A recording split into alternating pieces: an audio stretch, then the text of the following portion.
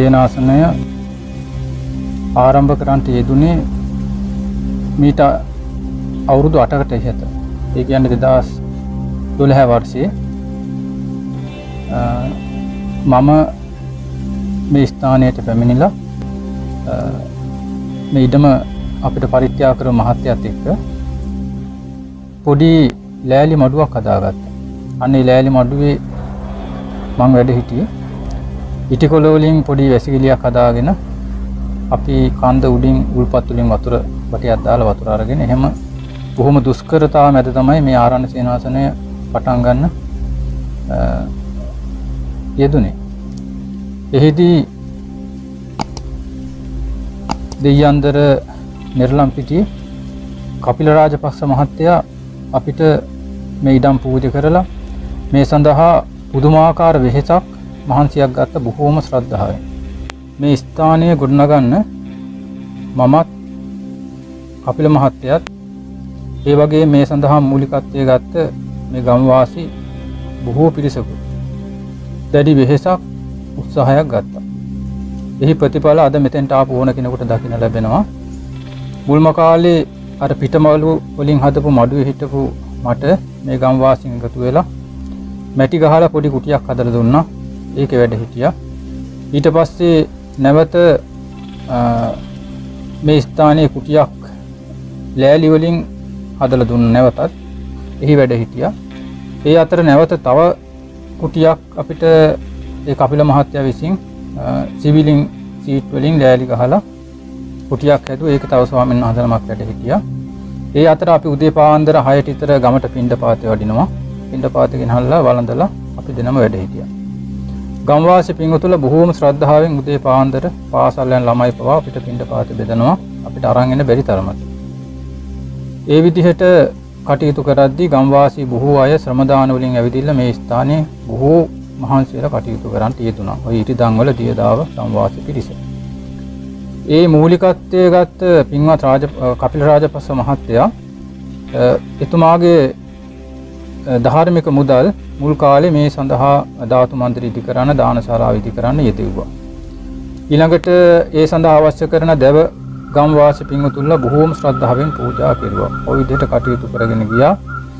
ඊට පස්සේ බොහෝ පිරිසක් මේ ස්ථානෙට එකතු වුණා. ඒ අයගේ බොහෝ උපකාර මැද මේ බෝධිගරය අපි සකස් කරගත්ත ජෛත්‍ර මහ බෝධීන් වහන්සේගේ ශ්‍රාකාවක් උඩමළුවෙන් වඩම්මලා මේ ස්ථානයේ රෝපණය කෙරුවා. අ, ඊළඟට රංවැට ඒ බෝධීන් වහන්සේ වටේ අපි ඉදි කරලා තිබෙනවා. ඒ සඳහා මේ ගම්වාසී බොහෝ පිරිසක් ඒ රං කණු බාර අරගෙන පූජා කරන්නට යෙදුණා. ඊළඟට ඒ බෝධීන් වහන්සේ පිටිපස්සෙන් නැවත සබ්බුදු විහාරයක් ඉදි කරනවා. එහි වැඩ තාම අවසන් කරලා නැහැ. ඒ වගේම ධාතු මන්දිර ඉදි කරලා තිබෙනවා. අ, ඒ ධාතු මන්දිරය ඇත්තටම මුලින්ම හදපු ගොඩනැගිල්ල මට වැඩ ඉන්න කපිල මහත්තයා විසින් හදපු කුටියක්. ඒ කුටිය මම කිව්වා මට අවශ්‍ය නැහැ. අපි බුදුරජාණන් වහන්සේගේ පිළිම වහන්සේ නමක් එතන ඒ කුටිය නෙලමු කියලා. ඒ කුටියේ අපි ධාතු මන්දිරයක් හදන්නට මුලින්ම පිළිම වහන්සේ නමක් එතන මේ නෙළුවා.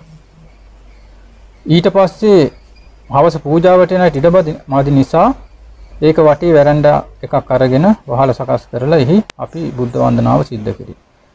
ඒ විදිහට ආරම්භ වුණා. ඊළඟට බෝධිකරේ සකස් කෙරුවා මේ අපි මෙතන මේ කතා කරන මේ ස්ථානයේ මේ පිළිම වහන්සේ ඇතුළු මේ විහාරය සකස් කෙරුවා. බෝ මළුව සකස් කෙරුවා. ඊළඟට කුටි මේ කැලේ උඩ ස්වාමීන් වහන්සේලාට පහසුවෙන් වැඩ ඉන්න කුටි පහක් ඉදි කරලා තියෙනවා. ඒ වගේම දානශාලාව ඉදි කරලා තිබෙනවා. දැන් ධර්මශාලාව ඉදි කරලා එහි කොටසක් වැඩි ඉවර කරලා තියෙනවා. ඒ වගේම පාර සකස් කරගත්තා. ඒ කාලේ මේ පාරේ එන්න බෑ මඩ ලිස්සනවා. බොහෝම දුෂ්කරතාව මැද්ද මේ අපි මේ කටයුතු කරද්දී ඒ සඳහා අපිට දානපතින් උදව් කරලා පාරේ කැටාල්ලා ඒ පාර සකස් කරලා දුන්නා. දැන් මෙතන ඉතාමත් පහසුවෙන් ඕන කෙනෙකුට එන්න පාර සකස් කරලා තියෙනවා. ඉතින් මේ සඳහා අපි නංගන් මේ කිසිම තැනක සඳහන් කළ නැති වුණත් බොහෝ පිරිසක් කපිල මහත්තයාගේ මූලිකත්වයෙන් ඒ වගේම නුවර සමරසිංහ මහත්මයා ඇතුළු බොහෝ පිරිසක් උපකාර කරලා මේ ස්ථානයේ මේ කටයුතු මේ විදිහට අපි වැඩ දැන්ට නිම කරලා තිබෙනවා. දැන් මේ ස්ථානයේ අපිට තිබෙන එකම අඩුපාඩුව තමයි වෙහෙර වහන්සේ නමක් නැති එක. ඉතින් මේ බෝධින් වහන්සේට උඩින් ඒ කන්ද මුදුනේ අපි ලස්සන සෑයක් භාගවත් බුදුරජාණන් වහන්සේ වෙනුවෙන් ඉදි කරන්න අදහසක් හිතේ තියෙනවා. අපි හිතන්නේ ඉස්සරහට ඒ කටයුත්තත් කරගන්න අපිට පුළුවන් වෙයි කියලා. ස්වාමීන් වහන්සේ දැන් මේ පිටුපසින් තිබෙන බුද්ධ ප්‍රතිමා වහන්සේ නිර්මාණය වුණේ ඔබ වහන්සේගේ දෑතින්. තවත් ඒ වගේම බුද්ධ ප්‍රතිමා වහන්සේලා ඔබ වහන්සේ නිර්මාණය කරනවා. ඒ නිර්මාණය කරන බුද්ධ ප්‍රතිමා වහන්සේලා මොන අරමුණකින්ද මොකක් සඳහාද නිර්මාණය කරන්නේ? ඕපින්ගත් මහත්තයා මේ මම මේ කතා කරන තැන මේ වැඩේ ඉන්න ඒ භාග්‍යවත් බුදුරජාණන් වහන්සේ වෙනුවෙන් ඒ නිර්මාණය කළා නිර්ලා තිබෙන ඒ පිළිම වහන්සේ මගේ දෑතින් නිර්මාණය කෙරුවේ මම මේ පිළිම වහන්සේ නෙලද්දී බොහෝ රෑ වෙනකන් සමහර දවස් වලට ඒ කටයුතු කරනවා. ඉතින් මේ ගම්වාසී පිටිස ඇවිල්ලා බදාම ටික අනලා දීලා බොහෝම උපකාර කෙරුවා. එහෙම කළා අපි මේ බොහෝම මහන්සි වෙලා මේ පිළිම වහන්සේ මගේ දෑතින්ම තමයි නිර්මාණය කෙරුවේ. ඊට පස්සේ මට හිතුණා තවත් පිළිම වහන්සේලා නිර්මාණය කරන්න ඕන කියලා. ඒ අදහසින් මම අඩි දෙකේ අඩි තුනහමාරේ ඒ පිළිම වහන්සේලා ඒ වගේම අඩි හයමාරේ පිළිම වහන්සේලා මම නෙලලා ඒ සඳහා ෆයිබර් අච්චු දාලා තිබෙනවා. ඉතින් ඒ එහෙම විදිහටම කවුරු හරි පිළිම වහන්සේ නමක් ඉල්ලුවොත් මම පිළිම වහන්සේ නමක් එයාට සකස් කරලා දෙනවා. ඒ පිළිම වහන්සේලා නෙලන්නට මට අදහස ඇති වුණේ මේ පිළිම වහන්සේ නිර්මාණය කළාට පස්සේ සමහර අය ඉන්නවා පිළිම වහන්සේ නමක් හොයාගන්නට තමන්ගේ හිතට හරියන්න පිළිම වහන්සේ නමක් හොයාගන්න බැරි අය මට එහෙම අවස්ථාවක් වුණා එක ඈත ආරණ්‍යක ස්වාමීන් වහන්සේ නමක් හැමතැනම ඇවිදලා තියෙනවා පිළිම වහන්සේ නමක් ඒ ආරණ්‍ය හදාගන්න. ඉතින් එක එක තැන් වලින් ඇහුවම විශාල මුදල් ඉල්ලනවා.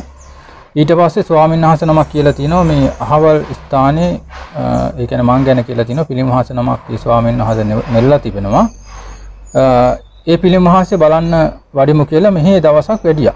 ඇරලා පිළිම වහන්සේ නම් බලලා කියනවා ස්වාමීන් වහන්සේ මට මේ පිළිම වහන්සේ නමක් නෙලා ගන්න ඕන ඒක කරගන්න පුළුවන්ද කියලා. ඊට පස්සේ මම බොහෝම කැමැත්තෙන් උන්වහන්සේට ඒ කටයුත්ත කරලා දුන්නා. ඒ ඒකත් ඒක තමයි මට හිතුනේ නැවතත් පිළිම වහන්සේලා අලුතෙන් නිර්මාණය කරන්න ඕන කියලා එහෙම කළා මම ඔය ෆයිබර් අච්චු දාලා තියෙනවා. ඉතින් දැනටත් බොහෝ අය පිළිම වහන්සේලා ඉල්ලනවා. එතකොට අපි කාලය අරගෙන පුළුවන් විදිහට ඒ කටයුත්ත කරලා දෙනවා.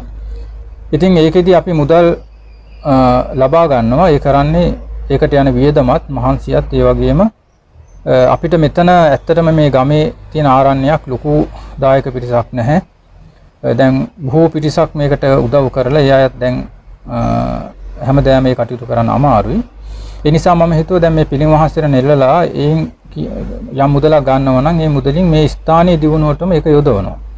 ඒ වියදම යාට පස්සේ ඉතුරු මුදල් දැන් මේ ධර්මශාලාව හදන එකට අපි ඒ මුදල් යෙදුවා. දැනටත් ධාතු මන්දිරයේ ඒ මල් ආසන හදලා ඒ ධාතු කණ්ඩු දෙකක් සකස් කරන ඒ ඔක්කොම ඒ අපි පිළිම වහන්සේලා නිර්ලන මුදලින් තමයි ඒ කටයුතු කරන්නේ. ඒකෙදී අ, මටත් මහා පිනක් සිද්ධ වෙනවා ඒ පිළිම වහන්සේ නමක් නිරලා ඒ නැති තැනකට ලබා දීමෙන් ඊළඟට මේ ස්ථානයේ දිනු කරන්නේත් මේ ගම්වාසී මේ සදහැවත් පින්වතුන්ට ඒ ස්ථානයේ තේ මුදල් ලැබීමනොත් මට පිනකුත් සිද්ධ වෙන නිසා ඒ අරමුණින් තමයි මේ කටයුතු මම සිද්ධ